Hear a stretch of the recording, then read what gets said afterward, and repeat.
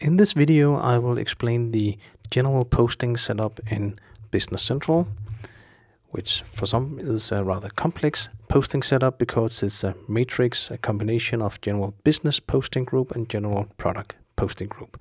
Let's see how that works from a conceptual level. If we make a total drawing of all the posting setup in Business Central, it will look something like this, meaning I have my posting groups, journal, posting setup, and of course my chart of accounts. And let's see how the general posting setup is affected.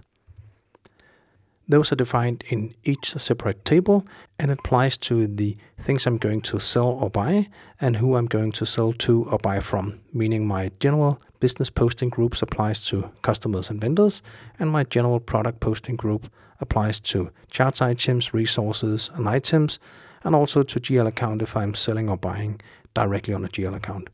This means when I create a new document, they will be transferred to that specific document, for instance, a purchase order or a sales order, invoices, etc.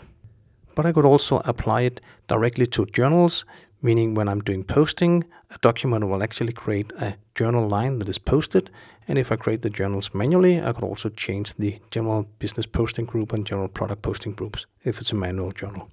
Now, when I do the posting, my setup for general posting, meaning my general posting setup, is a matrix that determines where everything goes into my revenue accounts, my cost accounts, and my prepayment accounts.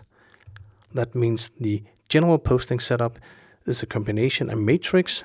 Uh, in the data I like to use, we have a general business posting group called domestic, EU, export, and intercompany, meaning whom am I going to sell to or buy from?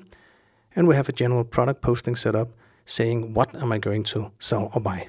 And thereby we can find the combinations. So when I'm selling to a domestic customer in the product group item, there will be defined accounts where to post in the chart of accounts. Whereas if I'm selling to a EU customer in the product group services, it will be other accounts. This way I can set up on my vendors and customers and all the stuff I'm going to sell or buy, uh, which accounts in my chart of accounts to affect by the posting.